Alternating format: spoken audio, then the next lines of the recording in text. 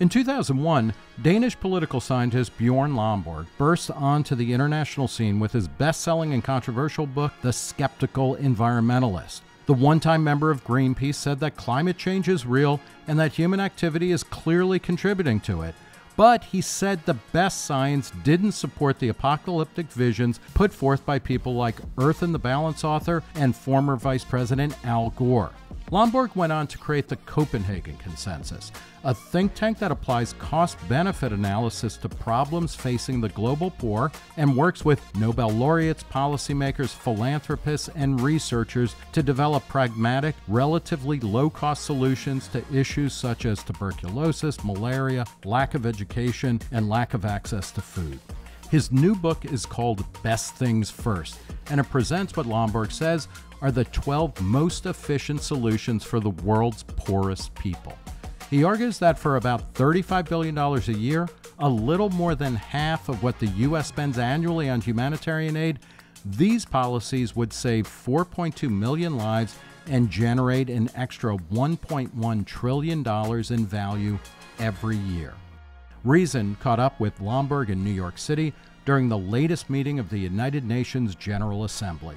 We talked about best things first and why politicians and the media continue to fixate on the possibility of future climate apocalypse rather than helping the global poor in the here and now.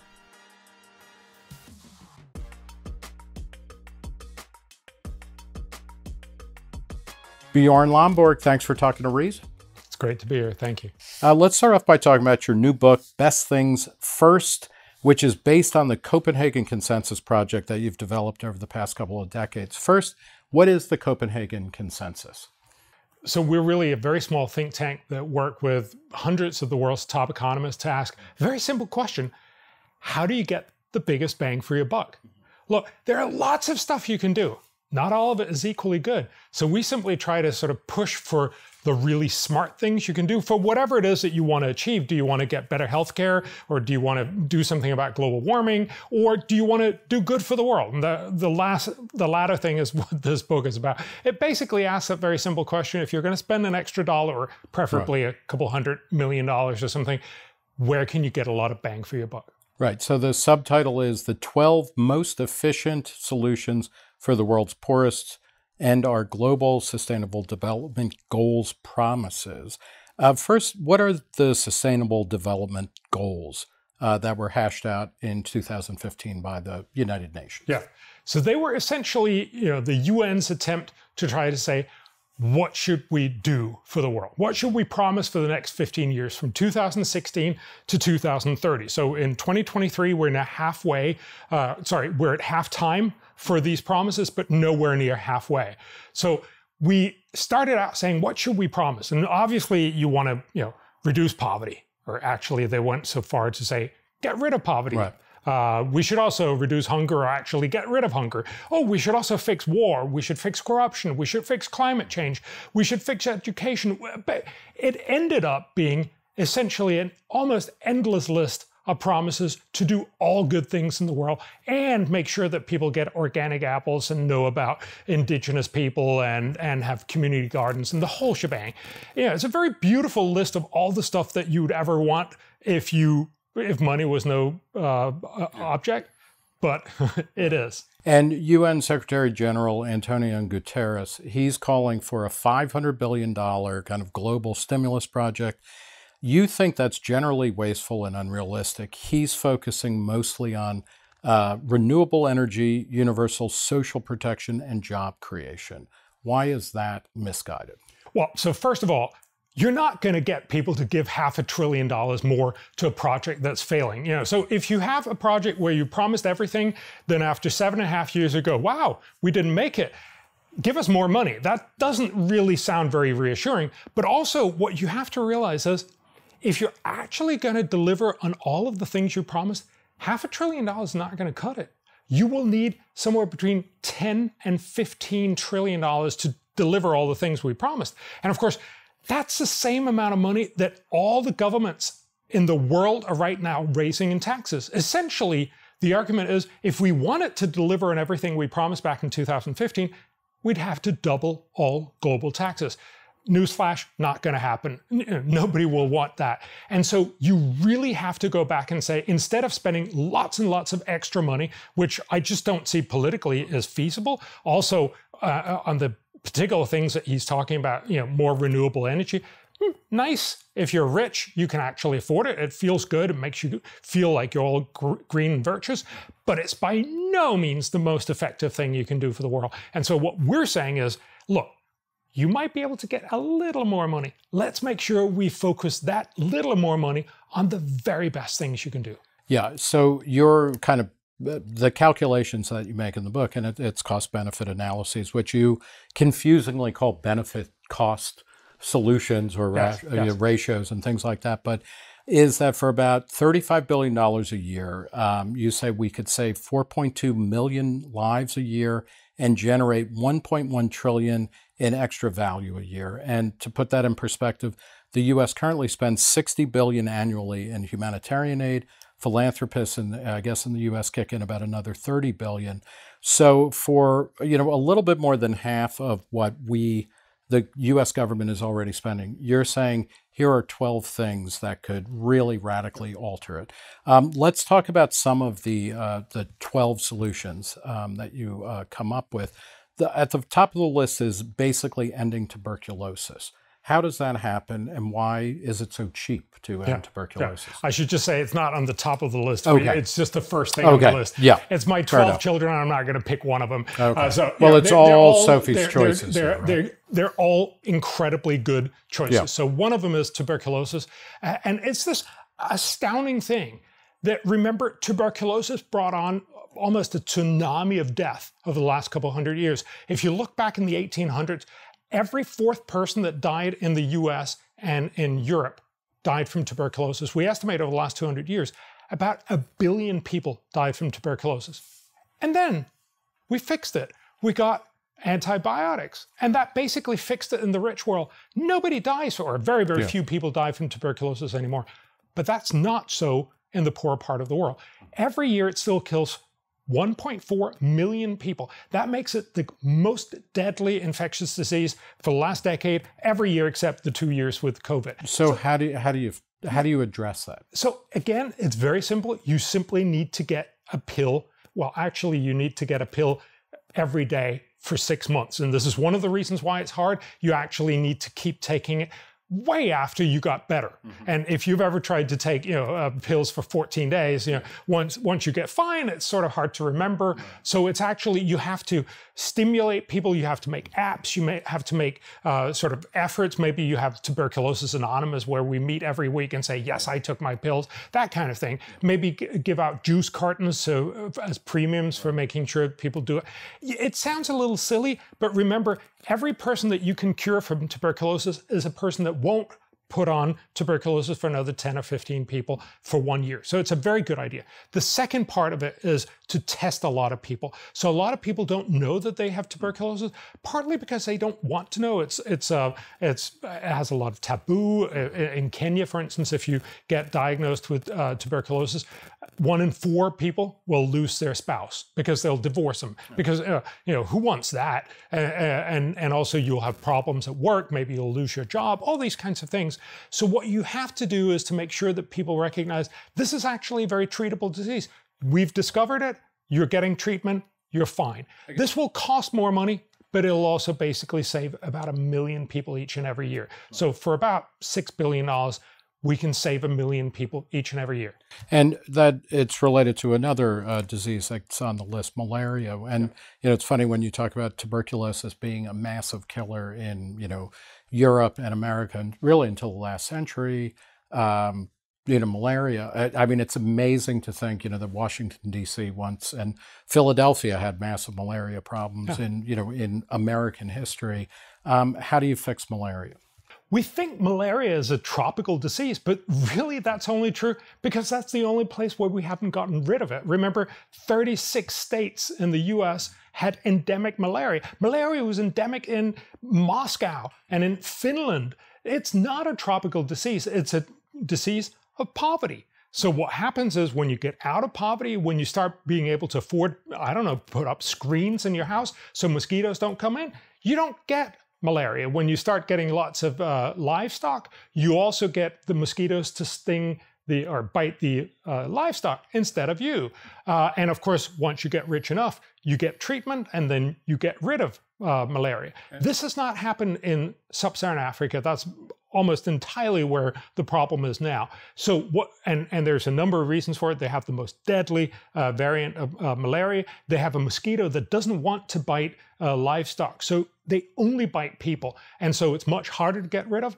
We know how to do it. It's simply about getting many more people to sleep under bed nets. All right, and the nets you write are the best nets are treated with insecticide. insecticide is, is yes. that DDT as well? No, uh, no, that's no longer what, okay. what, you use. But it is a very cheap uh, pesticide. Unfortunately, the mosquitoes are now starting to become resistant to that, so they've moved to slightly more expensive. We've made our calculations involve uh, that you both use some of the cheap ones and some of the more expensive ones, depending on where you do it, and that's what what is reflected in the calculations. Um, you talk about education globally, and there's a stat in there which up now, uh, I, I thought I had it written down. It was something like 80% of young people around the world can't do basic math or reading. Yeah. Yes. Um, so education seems to be one of those things where everybody, and, and you write about this, everybody you know is constantly fixing it virtually every country is spending more on education than they were 20 30 40 years ago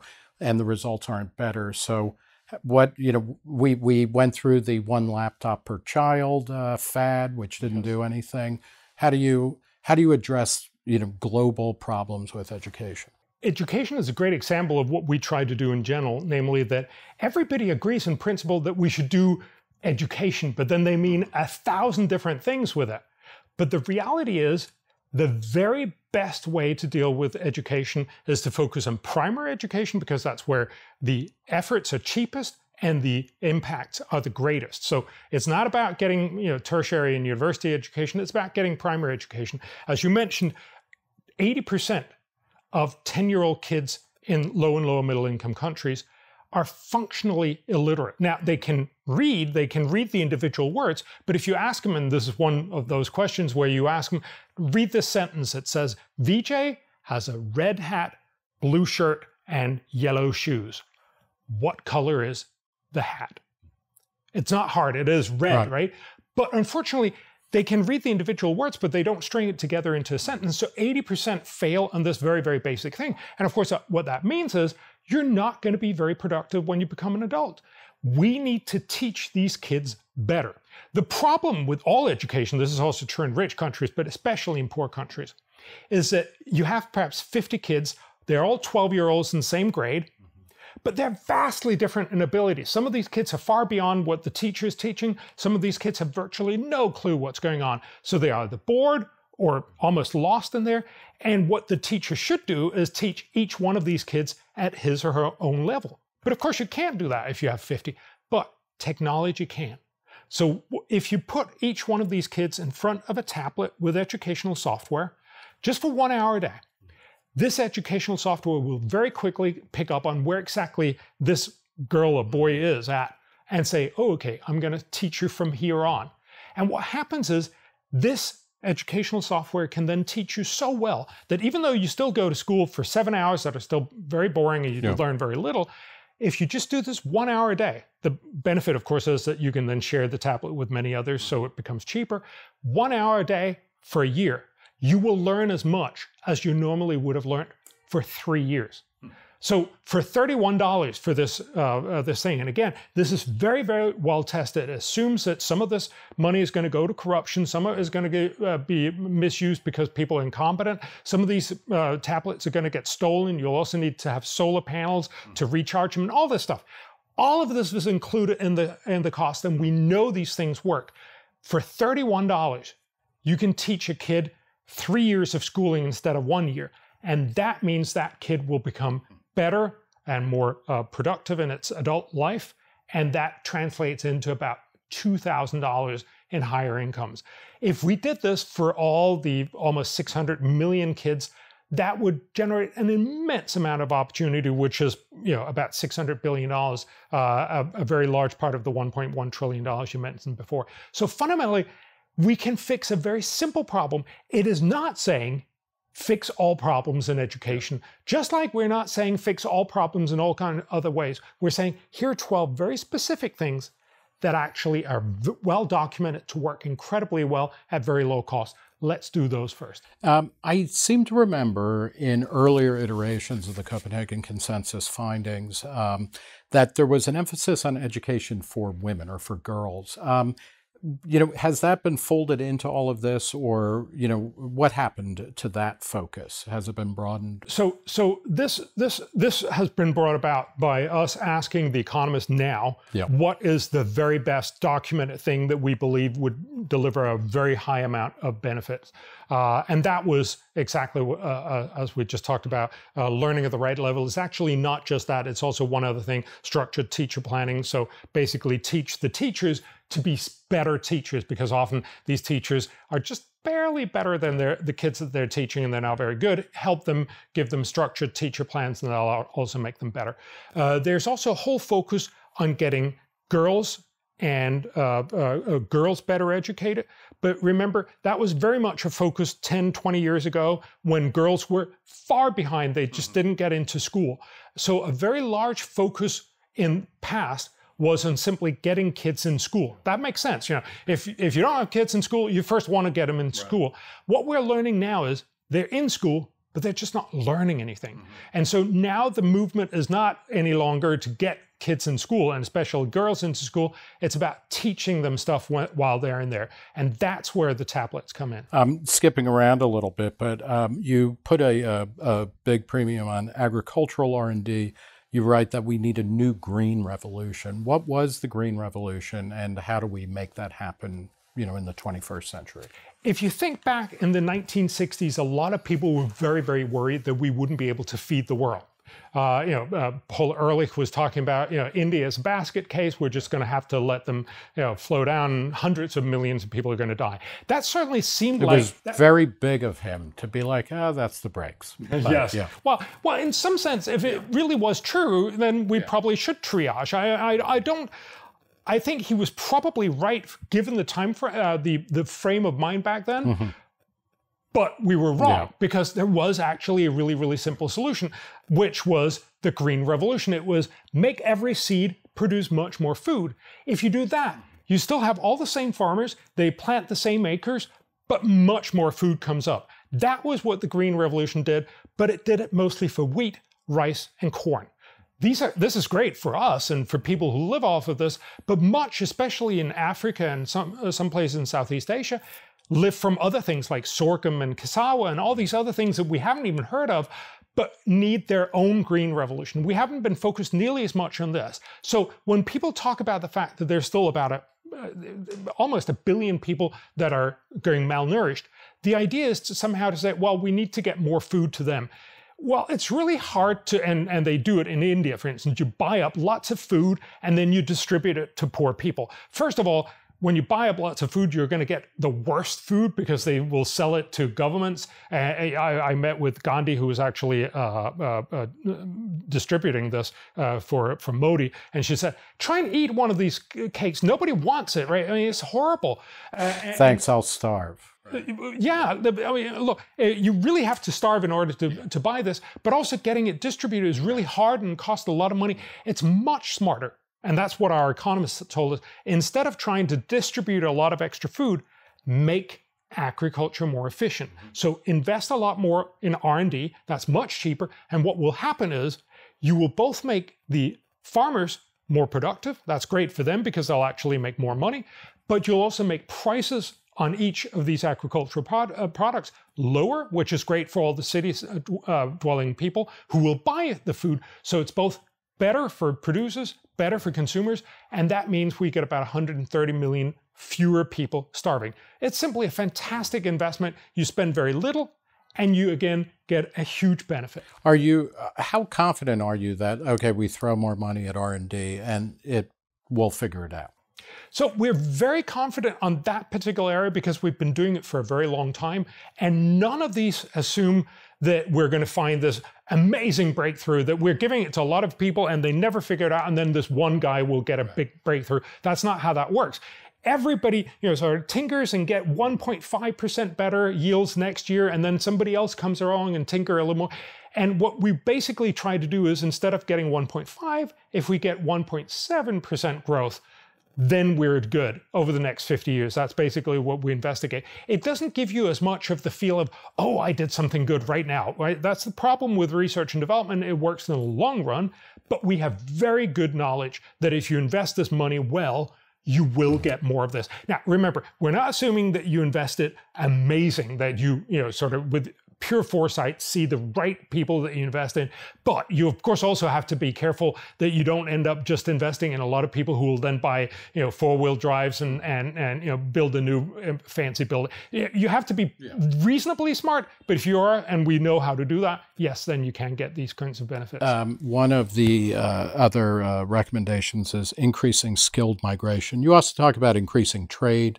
Um, and I, uh, reason uh, a reason audience will you know be interested to know that among the economists who've been part of the Copenhagen Consensus is uh, Vernon Smith, the Nobel Prize winner, who we interviewed earlier this year and whatnot. But talk about increasing skilled migration. Um, this is something, you know, one of the great, uh, you know, kind of trends of the past, certainly the past I guess you could say 100 years, but certainly the past 30 or 40 years has been the relatively free flow of people from country to country, which is really kind of amazing in a historical context.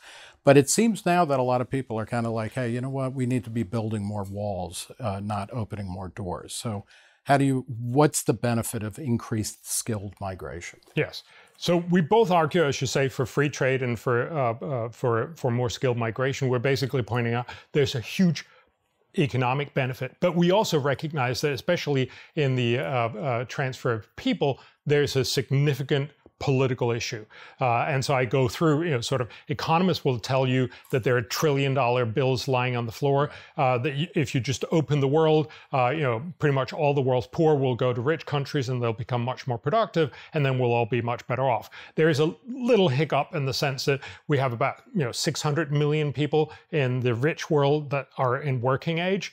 And we're talking about a transfer of 2.4 billion people coming into the, the rich world. That's not going to go off without a hitch. Mm-hmm. That will have enormous consequences, of course, especially for the people who are already in the rich world, who will see their uh, wages often drop. Now, overall, it means that more people will become much more productive. So it is true that there are trillion dollar bills lying on the floor, but it has huge political implications, which is why a lot of people are against it. What we're trying to say is skilled migration has the opportunity of doing something that you can actually get people on board with. We're not saying open up borders for skilled trade. We're saying have 10% more skilled migration than what you already have. So countries that are very comfortable, like Canada with uh, uh, mig migration, they will take in 10% of a rather large number. Countries that are very skeptical will take in 10% of a very low number.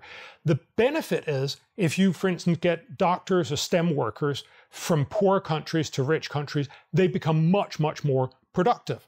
They have the education, but they can now deliver much higher productivity. That's where the big benefit comes from. And of course, what that means is that that doctor will now be part of a much richer world, which means that he or how she. Do, how does that that in that yeah. scenario? How does the money or the wealth go back to the poor country, or is it a brain drain? So scenario, yes, right? so so it the main. Benefit, and I'm thinking mostly yeah, of England, absolutely. where all doctors will leave England the minute that they can. Oh, absolutely. So look, the main benefit comes to the people who actually move. Right. Uh, and remember, otherwise they would have stayed poor. Now they get to actually be better off. So that's the big benefit. But th- it's reasonable to talk about what, what about the brain drain? Well, we estimate that net it'll also be a benefit for the uh, uh, uh, um, uh, the transfer country. So for the uh, for the country that delivers the doctor, both because they get remittances. We know that that happens yeah. all through life, but also those remittances lead to more education for the people in that country because they know that they now have that stable uh, uh, uh, uh, money flow from remittances, which means that they get better educated. So you actually end up with higher education, but it is not a great deal for the sending country. It is mostly a great deal for the individuals that we move. Um, I want to talk about this because this is the one that struck me as uh, kind of most new to me and, and interesting. You talk about e procurement or electronic electric procurement. Yeah. What is that and why? How did that make the list? It, it is a really, really sort of surprising thing. Most people have never heard of it. But think about it the biggest consumer of almost everything in the world is typically the state because they buy everything from you know post-it notes to roads but you know fundamentally most of this money is in infrastructure and this is typically incredibly corrupt uh, so we worked with Bangladesh, for instance, uh, and they have this old English system that whenever you know the government needs something new built, they'll put out in this obscure paper that you can we we want this bridge and and, and please hand in your sealed envelope with your bid in this office. Uh, but of course, the reality is you already have the lo- lo- local elite have already decided you're going to get that job. And so they put up goons outside the office. So you literally physically can't get in with your envelope. This is how you keep having too high cost for, for governments, and you typically also get low uh, uh, quality. E-procurement is very basically, there's more to it, but very basically that you just put this project on eBay. You just ask people to say, here's what we'd like. We'd like this bridge. Then you type in, everybody can see it. Now you don't have to go to this obscure paper. It becomes much harder to put these goons up. You can still do it, but it's harder to do. So what you basically avoid is a lot of corruption and you get higher quality because more people will bid. You also typically get it cheaper, uh, sorry, faster.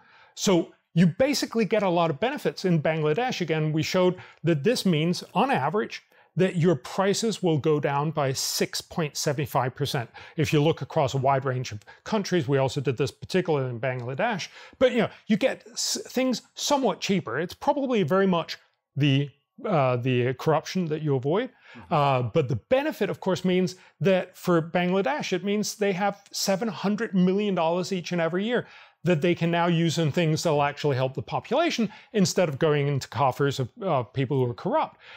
This is great. And the finance minister loved it in Bangladesh. But of course, he also knows that the people a couple of levels below will be really, really annoyed because that's you know part of their income. So there is real cost to this. You need to have political push, but actually turns out for very little money, so we estimate there's still about 70 countries in the world that haven't implemented e-procurement. Most rich countries have, US absolutely, uh, but you can do it even more, you can do it better, but mostly these 70 countries should do it. It'll cost about 70, sorry, 76 million dollars. So it's the only thing that's not billions of dollars. It's super, super cheap. And what it'll deliver is benefits worth about $10 billion. So every dollar spent will do 137, sorry, $135 worth of good. That's just a fantastic yeah. thing. We should just do it. It uh, it's also, it seems related to the land tenure security, at least tenuously in terms of when things become more transparent, who owns things and they have a legitimate right to it, you, you just lower transaction costs tremendously. Yes. Yeah. And and you know it's it's a it's a question of having security and just knowing that you own stuff that has a huge uh, you know different both you can use it as a collateral but also just your own life you can actually you know relax and say this is mine. Uh, it has a huge uh, uh, uh difference in in how countries and how effective economies are. Uh, and again, we showed that land tenure will have significant cost because you actually need to have cadastral surveys and you need to have better uh, uh, court uh, uh, uh, resolution and all these things. But the benefits will vastly outweigh the costs. You know, this is all so compelling when I read it. When I've been reading the various iterations over the year, I'm like, of course, of course, of course. What about the political economy? You've mentioned, you know, kind of there's a lot of people invested in the system as it is who are going to fight like cats and dogs to keep any of any kind of reform from coming. How do you move it forward as a actual political program that has a chance of being implemented? So I think the biggest problem that we really face is that everybody wants to feel like we're doing everything. Remember, if, you know, Americans do this a lot. It's a little foreign for Europeans, but but come Christmas, you'll sit and write out checks to you know your uh, uh, this kennel or this uh, this drug shelter or whatever it is. And and the point is, you know, any economist that look at that would say, but one of these things is the best. You should just send all the money, you know, the whole $2,000 to that thing. But mm-hmm. no, you write out, you know, 10 checks. And the reason is because it feels like you've done 10 times as much good right? It feels like you've you've been part of solving 10 problems instead of one. So the feeling i think is very universal. You want to do a lot of good things. That's really why we have the sustainable development goals that just mm-hmm. basically promise everything. Instead we should do the smartest stuff first that is hard because it means saying no to a lot of things. I have that wonderful quote by Steve Jobs uh, when, when they asked him, What are you most proud of? You know, what, what is it we should really focus on? He said, It's not about saying yes to stuff, it's about saying no. I'm so proud of all the things I've said no to. You have to say no to a lot of things in order to say yes to the few things that really matter. So we should do this. So, yeah. so your, your, question. Sorry. Your no, question no, no. I, I mean, I that that logic makes a lot of sense, and then it's a question of who is going to be saying yes or no? Is it something that gets forced through the UN and they develop, you know, something, or is it individual countries that say, you know what, we are going to pursue this and we're, you know, we're going to we're going to focus on, you know, Bangladesh, we're going to focus on e-procurement or something like that. Yeah. I think I, I, I, see myself as an intellectual. I put forward an argument for 12 things that would be incredibly good. I think what it really does is it makes it a little more likely in every, uh, you know, in the USAID or in all these different development agencies around the world, in negotiations between people, if you're a philanthropist, it becomes a little more likely that people are going to pick one of those 12 things. They're not going to do all 12 of them, that's fine, but they're going to pick one of those because oh, I read this book and it actually says this is incredibly efficient. So it pushes a little bit us more to spending money where it's really efficient and a little less on all the other things. I would love, as an economist, I would love for us to just do smart stuff. Right. But I also recognize this is a real world. So we have a saying in our, our organization it's not about getting it right, it's about getting it slightly less wrong. Mm-hmm. You know, if we can help move the world a little bit towards funding more of the 12 and a little less of all the other stuff, we've won. Is there any indication that's happening? I think there is a little bit, but look, um, it's very, very hard to tell. When we've done this in individual countries, for instance, for Bangladesh, they actually did e-procurement, not just because we said it, uh, but you know, this is part of the movement towards that. I think they did a few other things really well. In in Malawi, where we work, they actually did do, uh, and and they're right now doing uh, tablets for kids in primary school. They're trying to get this out across the entire country, uh, partly because of the calculations that we've done. So I think we help giving good ideas. But again, the point here is that it has to be taken up by individual philanthropists and by governments. And again, remember, USAID is trying to do a thousand things, and they're also very bound by a lot of uh, Congress people who put different restrictions on them in all kinds of ways. And likewise, philanthropies are always, you know, they start out, we want to, you know, save the world, but they often end up in places that just look good on TV. And I just want to make sure that people focus a little bit more on the actual effectiveness. I think we we help push people to be a little smarter, but no, this is not what's going to save the whole world. You know, uh, we've talked a little bit about the Sustainable Development Goals from 2015 that you know were kind of the worst version of a of a UN thumbsucker kind of uh, uh activity. In the book, you talk about the Millennium Development Goals uh, and how they were successful. Can you uh, remind us of what the Millennium Development Goals were and why were they successful in a way that the SDGs are not going to be? Yeah. So the Millennium Development Goals were really developed by uh, Kofi Annan mm-hmm. and a few other guys. They were all guys in a back room in the UN in around 2000. So they came up with this very, very short list of things. So let's stop uh, uh, poverty and hunger. Let's get all kids in school, clean drinking water and sanitation, stop moms from dying, stop kids from dying. That was it. So we made a very, very short list. That's actually a little longer, but everybody decided to ignore it. But you know, mostly we just had these eight smart things. And when you set out eight things, and you know, it was the new millennium, and we said we should do something. Let's do these things. Remember, not all of these things happened because the UN said it. Yes, we got a lot more people out of poverty, but that was mostly because China got rich. Uh, but we did actually spend a lot more money on making sure that kids didn't die. Uh, for instance, through vaccinations. We know vaccinations like uh, against measles is just a good idea. Uh, and back then, almost no kids were vaccinated. after that, about 80% were vaccinated. Still not enough, but much, much better. And it saved 800,000 lives. How amazing is that? And if you add all of this up, we actually went from in 1990, about 12 million kids died each year before their fifth birthday. In 2015, when the uh, Millennium Development Goals were done, only, and I put that in inverted commas, only 6 million kids died. Now, that's still 6 million too many, but because the cohorts were about the same, that's actually 6 million p- kids that don't die. And that's an, a tremendous achievement. We didn't actually meet the targets, they were a little too unrealistic, but we did a lot of good. And so, if you focus on a few smart things and get people's attention, you can actually do something. You can't do it about everything, and certainly they were not all equally smart, but we did manage to do a lot of good because we focused. With the SDGs, we said, let's do everything for everyone. Mm. And then, of course, you don't have any focus. You don't get any uh, uh, uh, acceleration. There's been no measurable pickup. People have not gotten more excited. If anything, they've just gotten a little, wow, that's a lot of things we promised. So focus on a few things and say, these are the best things you can do. That's what I try to do in the book. And basically, if we can get people to say, I want to be part of one of those 12 things. Yeah that's the way you make big difference. How um, you know is there also a sense that the you know or, or let me uh, start over. Um, in in the United States, and certainly among kind of classical liberals, libertarians, I think this is probably true of uh, of Europe as well. The UN is in an increasingly you know terrible uh, reputation, right? I mean, it just it's it never really seems to get things done, et cetera, like that. Can you talk a little bit about you know the massive decline in global poverty, uh, both extreme poverty and just regular poverty? Um, you know, has really um, you know been spectacular, and it was really unexpected at the level and rate it was. How much of the decline in global poverty was due to these larger issues, like you were talking about, you know, a kind of free trade or globalization?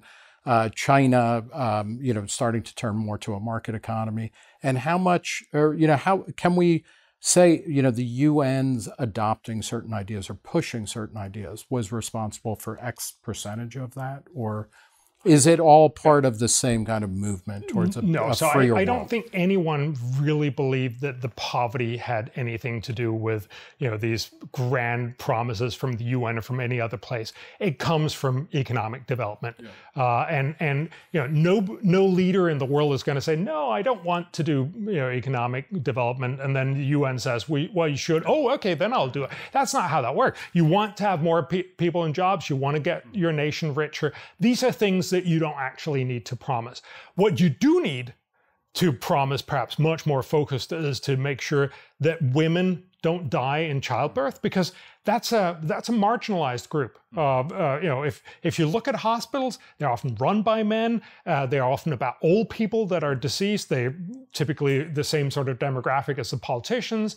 Uh, whereas you know, women coming in to give birth, meh, uh, that's not so exciting. So they're underfunded, but that's one of the places where we can make sure that both women survive much more and their kids, which are all of our kids, survive much more at very low cost. So again, this is one of the places where you can actually make a difference by focusing people's attention. Likewise with education, everybody will say that you should do education, but then when you come down to it, for a lot of people, it's more about, well, actually I'd like to have free education, college education for my kids, which, you know, ends up being a subsidy to rich people's kids because those are the ones who go to college. What you need to focus on, but that's much more boring, is to get it right in primary education. And so you can focus people's attention more with the, sort, sort of these promises, but what you have to make sure is you don't promise everything. Uh, you have to promise a few really smart things. And that's what we're trying to say. Look, the UN should have done their job better. They didn't, and I, I understand why. You know, when I went around and talked to a lot of the UN ambassadors uh, individually and talked to them about why they should pick really smart stuff, and they were all like, "This is really interesting," but actually, you know, the Brazilian ambassador would tell me, "But you know, my job is not to get the best targets for the world. My job is to get Brazil's five points in there, and you know, the Norwegian ambassador to get Norway's yeah. four points in there. And that's how we ended up with a list of everything." Uh, let's talk about climate change and the discourse related to it. Uh, uh, you know, it's uh, almost 25 years ago, right? You made a name for yourself. I think you you really emerged on the on the world stage. um, as uh, the skeptical environmentalist, which was the title of one of your first books or, or your first big book. What made you skeptical skeptical about environmentalist policy discussions back then?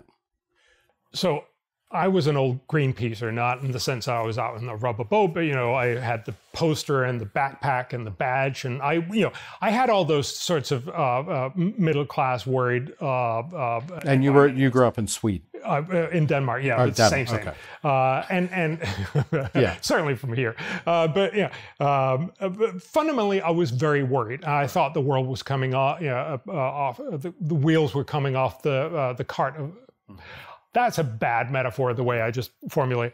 I, th- I thought things were going wrong uh, and we needed to do better. Uh, and I thought, you know, the, the environmentalist was telling a very important story. The world is getting worse and worse. We need to do a lot of stuff to do it. I realized that's not what the data mostly tells us.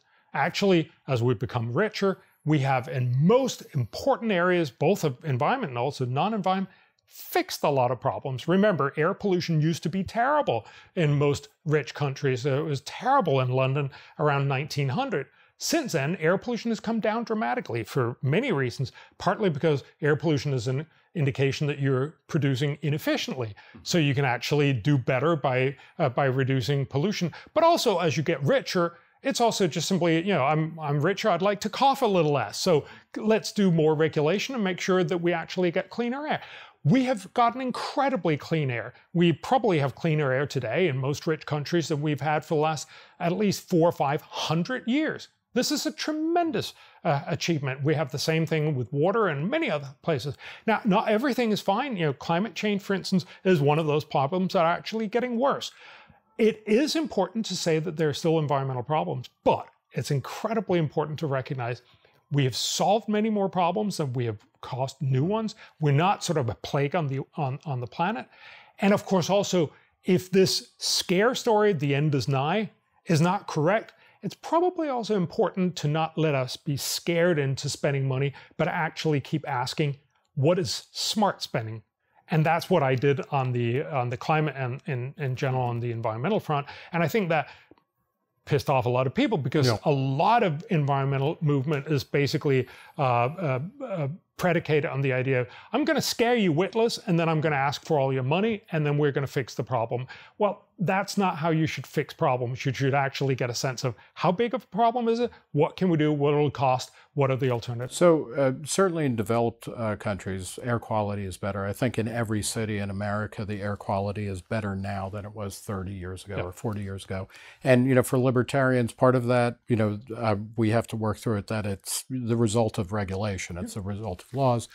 Um, but um, you know, one one argument is that well, we've taken, you know, we've just shoved all of our pollution onto the developing world, and when you look at emerging economies like China in particular, the air quality there is getting worse and worse. Is that an accurate read, or what is that missing? So, so there's definitely a sense in which we've pushed some pollution, but remember, for instance, uh, you can't push transportation pollution mm-hmm. on other countries because you need the transportation here.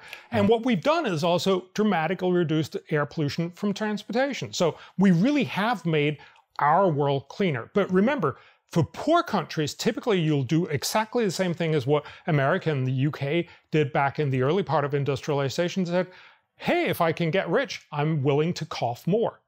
That's how it works. That you're willing to trade off if you can get better off and you know uh, send your kids to college and have a lot of other benefits. You're willing to also accept more pollution uh, certainly in the short run. That's what they've done in, in, in, in poor countries, and certainly Beijing and, and, and uh, China for a long time uh, long time was getting worse and worse air pollution levels.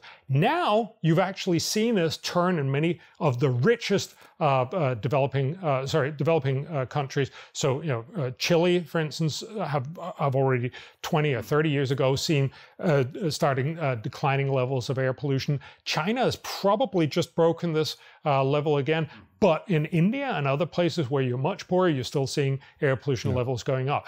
Most of this is a very conscious choice of saying we'd like to get richer and part of the way we get richer is by allowing more air pollution it's only once you get sufficiently rich you say now i'd like to pay for less air, air is pollution. there any reason to be worried about um, you know, well, uh, you know, saying to the developing world, well, we're sorry, we can't allow you to do that because the total amount of pollution is going to create a, you know, a hockey stick or a ratchet effect where the planet just starts dying. Um, you know, it, is that a legitimate argument, or is that something that you don't think well, is supported by it, the data? It, it, has some merit, but it also has a lot of problems attached with it. So remember, air pollution is really a local issue, uh, or a, at best a, a regional issue. So it makes sense to say, look, what China wants of its air pollution is mostly a problem for China. They can decide that level for themselves.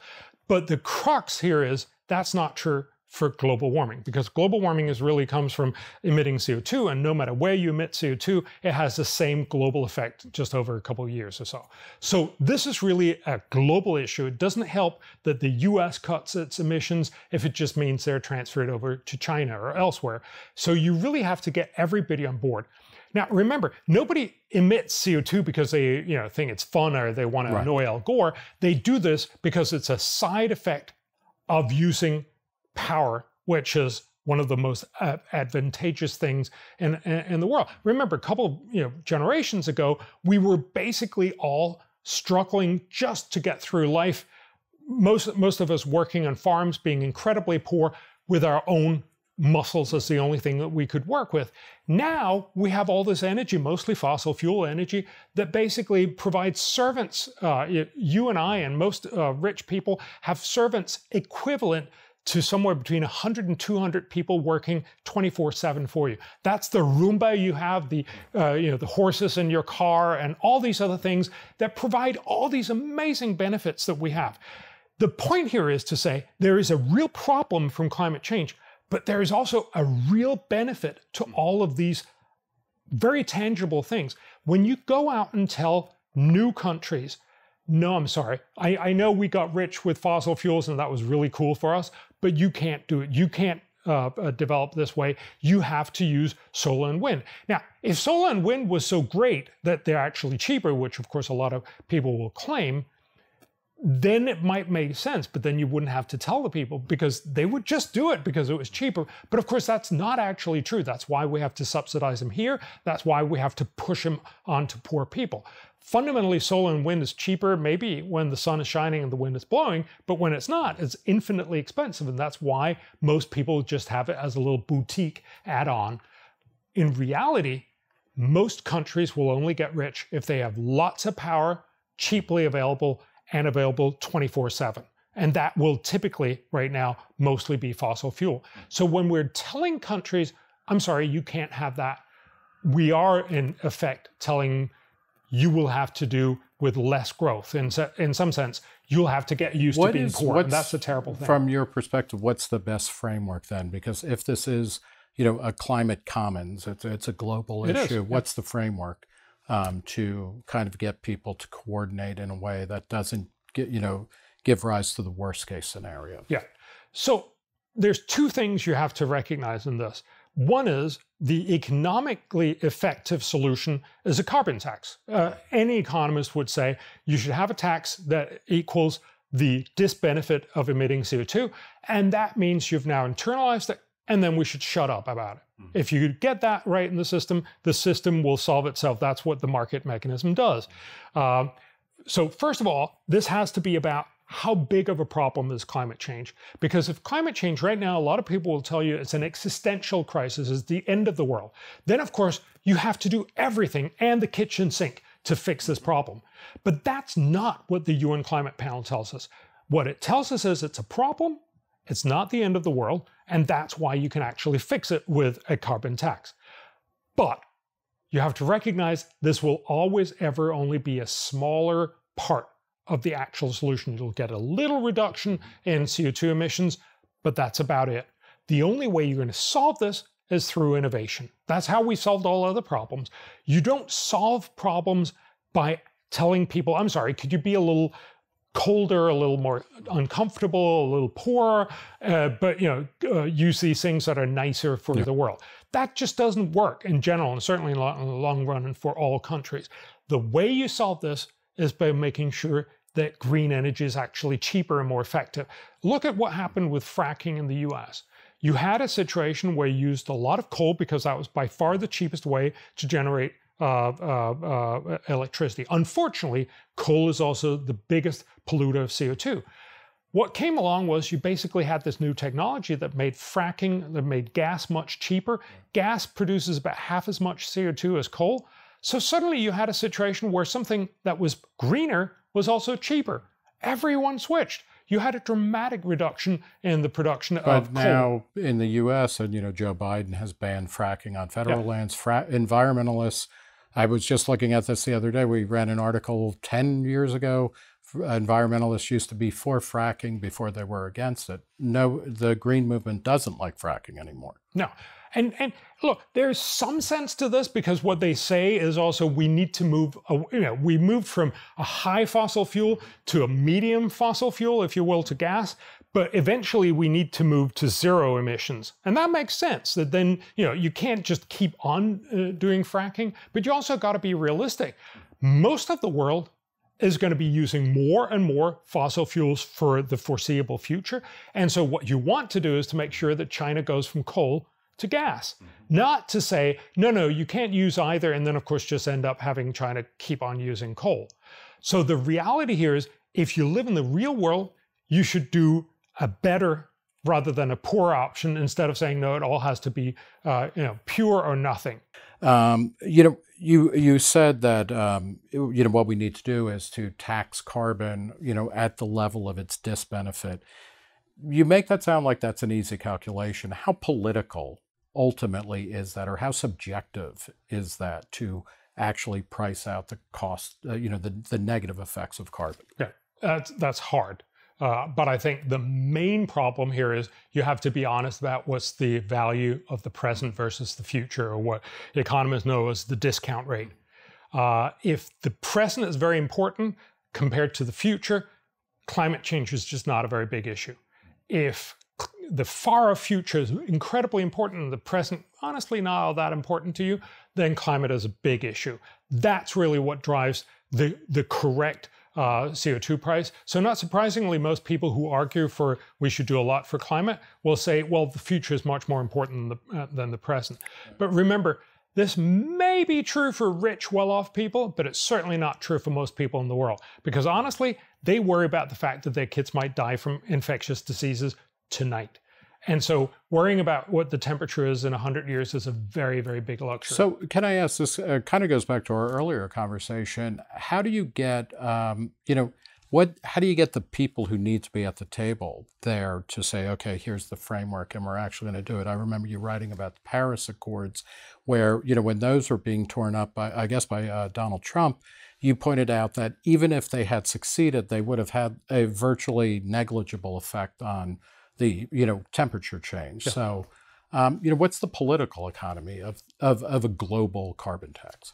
Well, fundamentally, it's not going to happen, but also, even if you manage to do this, it would only have a smaller impact on the temperature. And that's, of course, why I keep saying if you actually want to do something about climate, it, all comes down to innovation. So, we actually did a, a cost benefit analysis, just like the one we talked about, just for climate. So, not saying, you know, maybe you should spend your money on tuberculosis instead, but if you just care about climate, what's the smartest thing? The long run smartest thing is to invest in innovation. Hmm. Just like we talked about with agriculture, the only way you're going to solve this is by making sure that future green energy is so cheap that everybody wants to buy it.